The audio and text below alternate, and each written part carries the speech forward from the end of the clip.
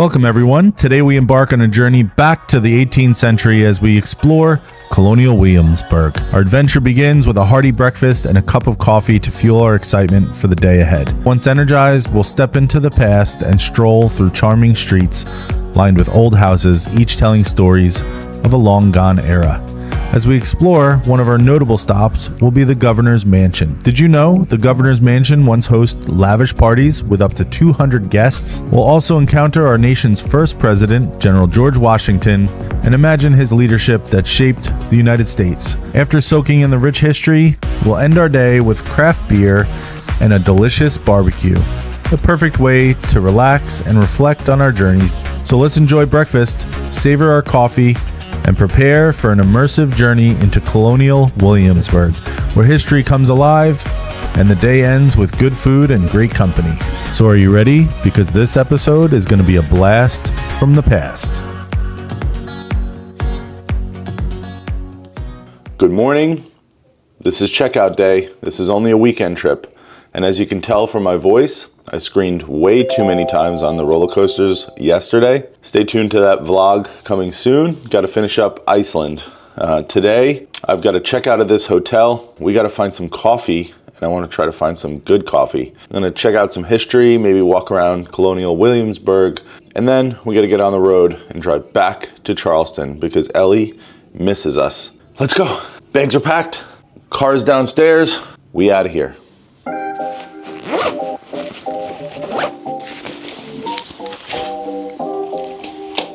Refrigerator. Empty. TV off. Or around the back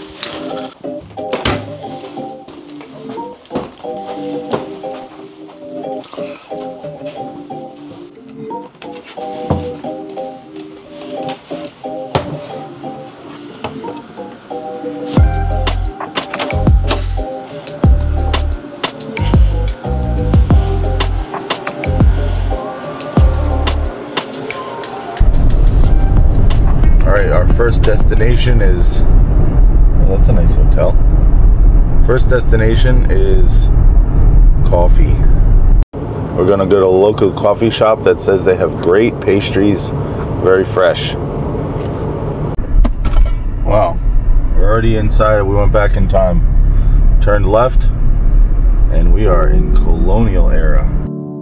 Welcome to Colonial Williamsburg, living museum that transports us back to the 18th century. Here we can explore over 300 acres filled with restored buildings, including shops, homes, and public buildings that capture the essence of colonial life. One fascinating fact about Williamsburg is that it was the capital of Virginia from 1699 to 1780 serving as a center of political, educational, and cultural life. Walking these historic streets, you'll encounter historical interpreters who bring the past to life, sharing stories of famous figures like George Washington and even Thomas Jefferson. Look at that.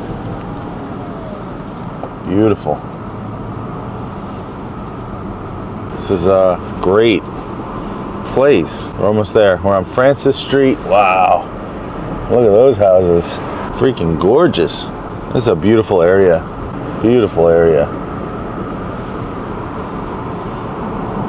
Green grass, little hills, capital cup cupolas. Beautiful building. Couple more spots. This is South Henry Street. I gotta go straight one more block. Precarious beer. Guess they had beer back in the colonial times. Make a right here. Oh, they have coffee. I think that's probably where they're coming from. Cute. Elva. Oh, I was going to go there too. Elva Coffee. That was on my list. It's like a weird thing here. Find a spot to park somewhere here. All right, we're street level. Okay, there's a, um, ooh, Barkery. That's Ellie. I better go. I don't know if it's open yet. We'll have to check it out. Across here, there's like nobody here. This place is gorgeous. Very, very cool. Very historic. Well, don't look at me. Look at the city. You got Custard milkshakes, burgers, hot dog, fresh cut fries. Our first stop this morning is at Aromas Coffee. This place is where you start your day with a delicious breakfast. You can also have lunch, great sandwiches, salads, homemade soups, and even complete your day with dinner and a glass of wine. Or even beer. They roast their own coffee, they bake their own pies, quiches, cookies, you name it, they have it. And their coffee, yeah, it's delicious. All right, got myself some coffee. We got a breakfast burrito, marshmallow latte. We got chorizo in there. Chorizo, avocado, egg, cheese. This is gonna be delicious. Mm. Oh, that's good. That's what I needed. $20 for this and a coffee. A little messy. The other thing I need to do is find where to park because I only have an hour parking, but we're pretty close to where we need to be. So I got to find a parking lot and then we'll walk. All right, Aromas Coffee complete. Got our coffee, very cool cups. And uh, a lot of the shops are closed back there, but we're gonna go find a parking lot. If you're new here, hit that subscribe button and also hit that thumbs up if you're enjoying yourself. I like to take you with me to some of the most whimsical, wonderful places where you can learn and grow. Let's do it. We're gonna go find a parking lot and go check out Colonial the colonialness. Oh, look, beautiful building. This is the Bray School.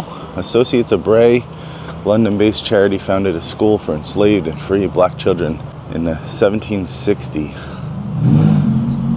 Located in Williamsburg at the suggestion of Benjamin Franklin, a member of the Associates, the school received support from the College of William and Mary.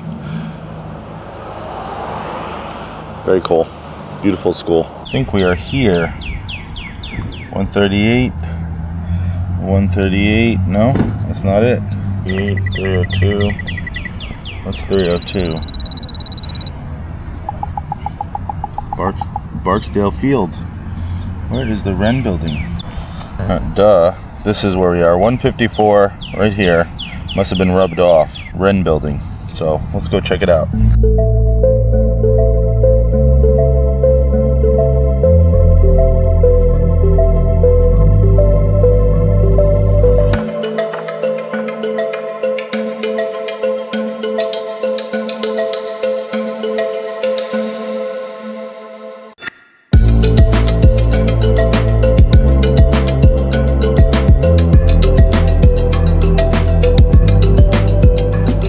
So this is the Wren House. The builder was Christopher, Sir Christopher Wren, right?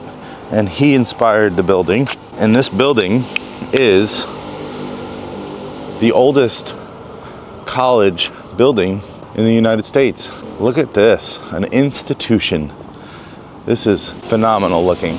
And now we're heading over to the Sunken Gardens. This is 1700s, folks. Let's see. Oh, it even says stuff here. 1695.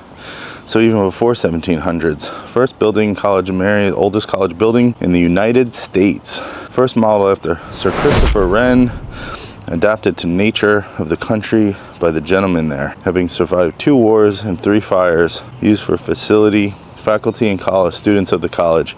Wow, restored by Rockefeller in 1931. Oh, ah, history is freaking phenomenal. Welcome to William & Mary College, where history and innovation converge.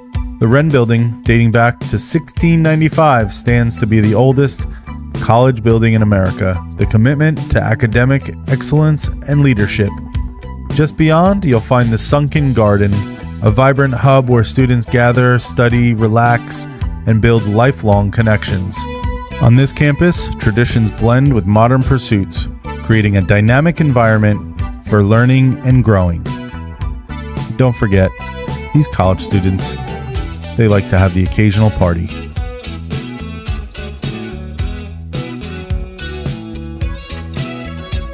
All right, so this is the Sunken Garden, and this was a popular spot. It's surrounded by brick, and they do basically have some chairs out here. Don't know, there and there and over there.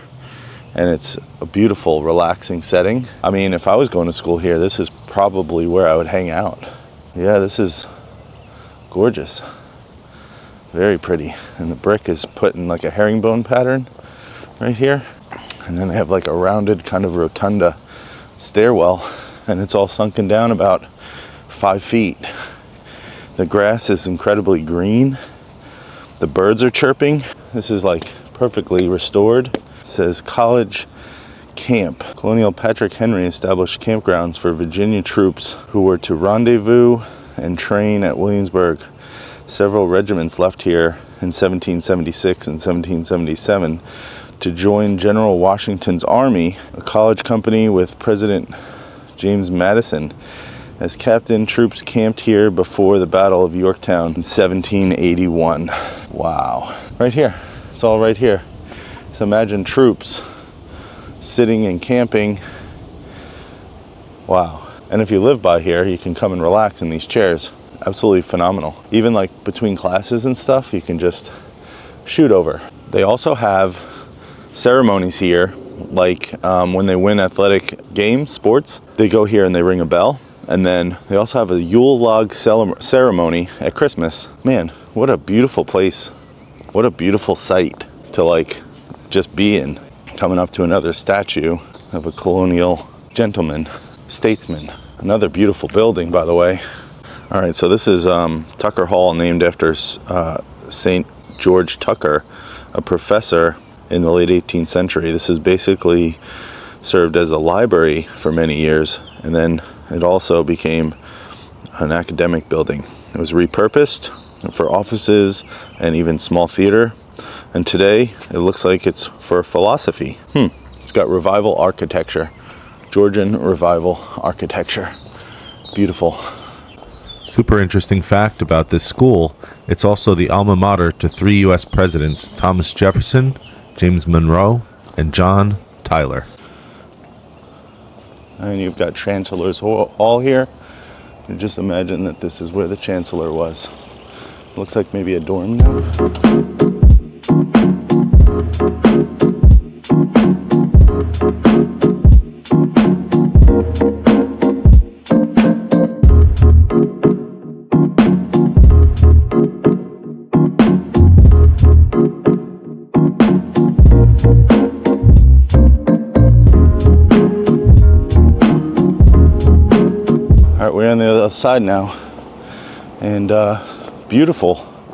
really is a beautiful campus. I actually got this tip from Amy my wife. Said she talked to one of her colleagues and they said that this was a nice spot. It looked great.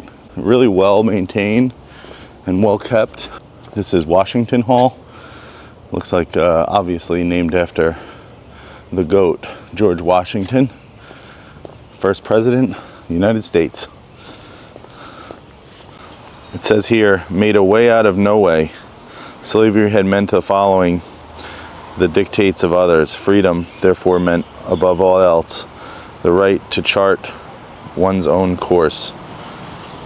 There's another story to be told, another story that you have, you and I, who are black, who are going to find out about what it means to be black in this country. It's good that we remember what we can, what we contribute. We remember what we have done to make this a better place, and we should take credit for doing that.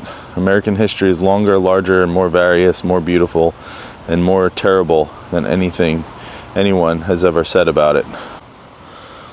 There's even a little space to sit and reflect here.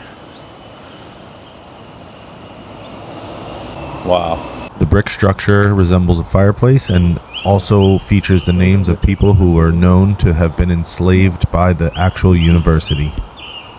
Sometimes I just don't have the words. I'm all choked up. Lucy, 1768. Charlotte, 1768. Fanny, 1766. Unknown person. Price, 1704. Unknown person. So many unknown. Margaret, unknown man, 1755. 1757.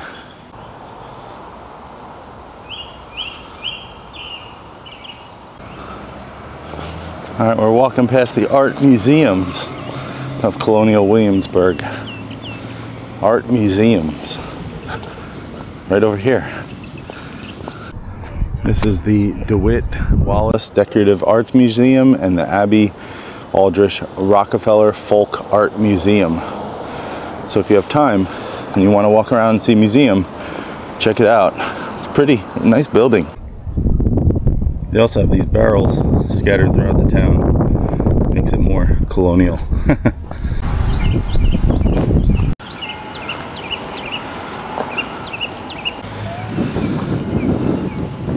this is like kind of what I think of when I think of Virginia and really kind of heading up to the northeast. You just got these beautiful trees. That one over there is pretty leafless, but probably just got pruned maybe. And then you have these rolling hills and these beautiful fences, just stunning. Bell going off in the background, birds chirping.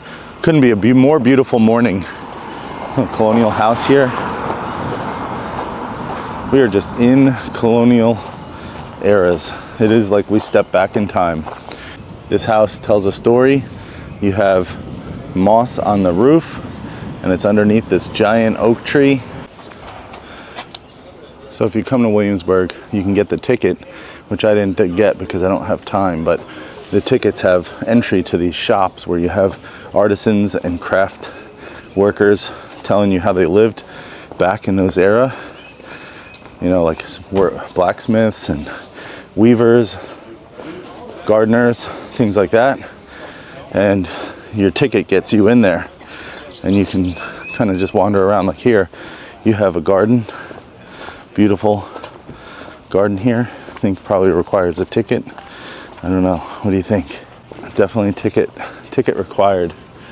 But the things that are not required is looking at this beautiful church and seeing the beautiful trees and the sun is shining and you can see the garden. You got some cactus in there. Wow. Flowers are beautiful. So stunning. And that's what you do. If you have more than a couple days, I suggest you buy the ticket online. Just do a Google search and there's plenty of ticket vendors out there that will let you buy a ticket to be used here. It's like some demonstrations here. Hello, Governor. We've made it to the governor's house. Take a look. We're gonna get closer. Wow. Huge kind of open, um, open front lawn. These were pretty popular in the colonial times. We have them, all the plantation houses had these big grand entrance where maybe the horse and carriage would go down either side of the road. And it's lined with beautiful trees and uh, yeah, lots of nice, beautiful views. Let's take a closer look. Completed in 1722, this grand residence serves as the official home of the Royal Governors of Virginia. Imagine the year is 1754 and you're a guest at the governor's lavish parties. Hosting up to 200 guests fills with magical music, laughter, and the aroma of an exquisite feast. As we walk through the gardens, we notice the intricate woodwork and elegant furnishings authentic to the period. This mansion wasn't just a symbol of power, but also played a crucial role during the American Revolution, housing the last royal governor, John Murray. Beautifully maintained, gardens, both functional and decorative, this mansion is a gateway to understanding the colonial past.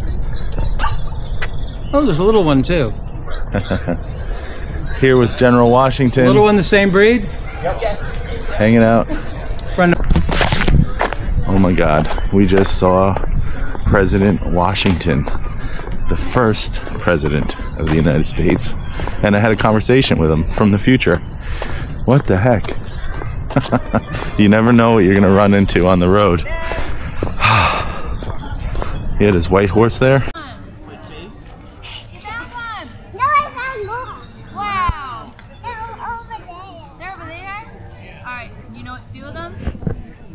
All right, I hear some barking coming from inside here, so I'm to say that this is a, a real person's house in the current day colonial Williamsburg. It's a beautiful one. They have a nice yard, very thick bushes in the back, nice grass.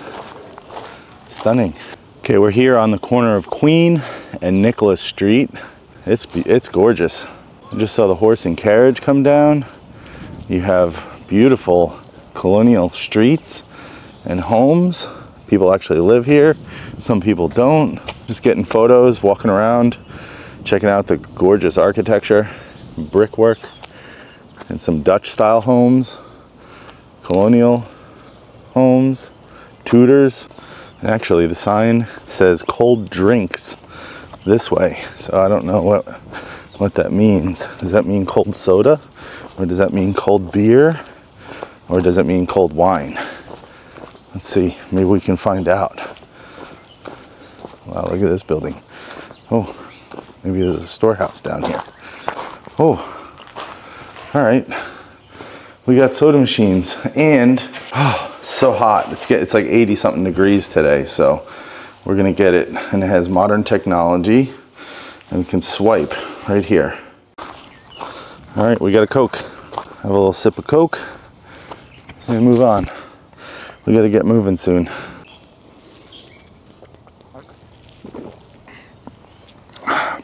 It's only fitting. Coke. Pro tip, if you're coming here in the spring or summer, it can be very hot, so go back there and get a nice cold bottle of soda. If you're at the governor's house, it's just down the street, right next to this building. You just kind of go to the next road and uh, down the hill, accepts debit or credit. I've seen a lot of dogs walking around here, so super pet friendly. Definitely have to go back and get Amy and Ellie and come back here for a longer retreat and just kind of roam. I do want to mention that it is pricey everywhere I went here, whether it was Busch Gardens or Williamsburg or outside of Busch Gardens, it was pricey. So just be aware if you want to save money, just go off go off site a little bit or bring your food and get an Airbnb and eat breakfast in the hotel if you can get one that has food included. to effective use of this weaponry. I would very much like to not have to completely change over every infantry gun on the battlefield while still getting that standardized ammunition. So I'm just going to make my new gun the same ammunition as the old gun because that's not like a good plan. We thought it was too. I know. We're so smart. What's the accurate range? Not because they're accurate. We are using them at that range to do what's called testing the enemy, right? So uh, that range is about here to the uh, uh, Randolph House right there, 250 yards away. Right. So if I saw an enemy right there, I would have my guys line up. I would have us load. I would have us fire to see what you would do. Right? Because if you're trained soldiers, you're going to turn around. You're going to look at me. You're going to acknowledge that I'm 250 yards away from you, and you're going, "There's no way they were aiming." Right? And you're going to form into ranks, and you're going to start coming out. And I'm going to go. Those are trained soldiers. Let's respond accordingly. Got some seeds, some baskets, town. blankets, nice blankets, peanuts, Virginia peanuts, cheese balls, chips, candles, and mats.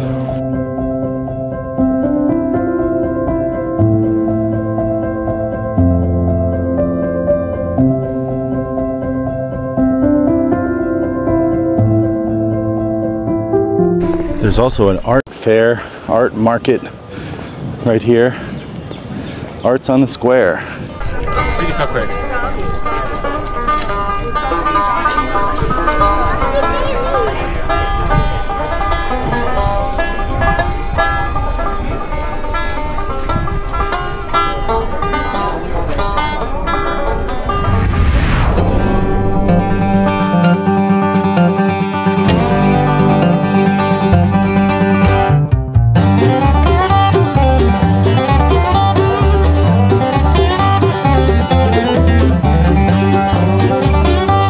Definitely more to see here. Have to come back. Just not enough time in the world. And like I said, life is short. And when you're trying to see it all, man, you're not going to see it all. So you just got to kind of wander and see what you can see. We saw Washington, we saw the art museums. We didn't have time to go in them. You could spend weeks here and not see it all. We haven't even gotten to Jamestown. I think we're gonna come back and do all that, spend more time here. I think Ellie would really appreciate the walks. Maybe we'll come in the fall for a fall trip. Might be beautiful that time. Come in like end of October, November. We're ending our day here in Colonial Williamsburg at Precarious Brewing, Precarious Beer Project. And I have a brown ale, six ounces, and a red ale, six ounces. So we'll try that out. That's gonna wrap it up. I gotta get back to my car and skedaddle to Charleston. Coming home to Amy and Ellie. Miss you guys. This one, it didn't record, so I'll do it again. But this is the red ale. It's a little bitter. And it even said, cheers. Cheers to you. Nice and cold because it's now like 85 degrees out. Stay hydrated. This is uh, very coppery and like a little bitterness to it. And then the brown ale. Cheers. I love this place. It's got a dog on the wall, a nice tapestry of a dog. Probably pet friendly outside on the patio. Get a nice water bowl for Ellie. Nice glass of ice water. Large place. Look at this. place is gigantic. They got a game room over there. They have some merchandise, and then the ceiling is all lights. It's like a garden. Very cool. And then this is the from the art festival. This is the pattern I got Amy. I love like the sun and the hot air balloons, the birdhouses. It's got some cardinals on there. Our favorite, sunflowers, which was Lindy's favorite, I think dragonflies. This is this is a good luck piece right here. So we'll use this for our dining room. So pretty. Lots of nice birds, flowers. Great. Excellent morning in Colonial Williamsburg. We saw the William and Mary College. We walked around, saw the Governor's Palace. We met General Washington. Saw an art fair. Man, action-packed day. Carious Brewing also has a back patio. So if you do have a dog, you can bring it with you. I see one right there. He looks so good. Little puppy. Very pet friendly. Just down the street, we're headed to Pierce's Pit Barbecue. Mouth-watering flavors, southern hospitality come together for an unforgettable experience known for slow-cooked meats, Bull Pit Barbecue. Y'all, be prepared. There are lots of people that come to this place and it's very busy. Also, lots of delicious sides like onion rings, macaroni and cheese, and potato salad. Be prepared. There are lots of people that come to this place and it's very busy. All right, I ordered my food. I got the brisket, collard greens. I also want to point out there's plenty of seating outside because the place is so busy, fills up quick on the inside. I also got Brunswick stew here. I met a couple in Busch Gardens yesterday who said I must go here. So if you're watching, I went and I used your coupon for 10% off. They were nice enough to give me 10% off. And here's the Brunswick stew. This is my spread. So I gotta eat this and get on the road. Let's let's see what it's like. I'm gonna try the brisket by itself. I got so much on here that. Hmm. It's very tender actually. Mmm, that's really good. I'm gonna put some pickles lined here.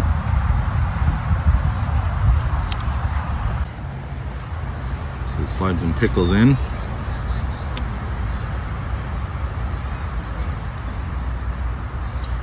And then I gotta figure out how to eat this thing. So much brisket on it, I won't be able to fold it. One, two, three, four, five slices. This barbecue was perfectly executed and as busy as they are, amazing. Link in description. All right, that's my sandwich. Ooh, that's a big one. That is a big one. See, it's gonna be messy. Hmm. That's a for real 11 out of 10. Definitely one of the best. Also try this Brunswick stew. So this is made with chicken, and the ones we've had in Charleston are usually made with um, pork super tangy, very sweet, and it's actually more potato heavy, more vegetable heavy. It's got green beans, carrots. That's it there. Green bean, carrots, potatoes, corn, lima beans, peppers. Yeah, much different than what I'm used to, but it's also very freaking delicious. Very good. Probably give this a 11 out of 10. Give that an 11 out of 10, and then I got to try the collards. Also recommended by the cashier was the collard greens. These are huge. I don't know, they don't cut them, so I'm gonna eat them in the whole leaf. Messy. These are more savory. I like mine a little more sweet. But, um, not bad. I'd probably give these like a 7 out of 10. All right, that's all she wrote. We had a great day visiting all the sites here in Colonial Williamsburg. Start out with a great cup of coffee. Man, saw some historic sites. Checked out the governor's palace. We saw General Washington. And I gotta go. So hit that subscribe button, hit that thumbs up, and then we'll see you in the next video. Thanks for watching. Bye, dudes. I don't wanna here no. Ain't gonna keep it low now. If you wanna go, let's go. Let's wrap it up and hit the road. I just got an awesome vibe. Striking the wind up. You've taken You, you gotta understand.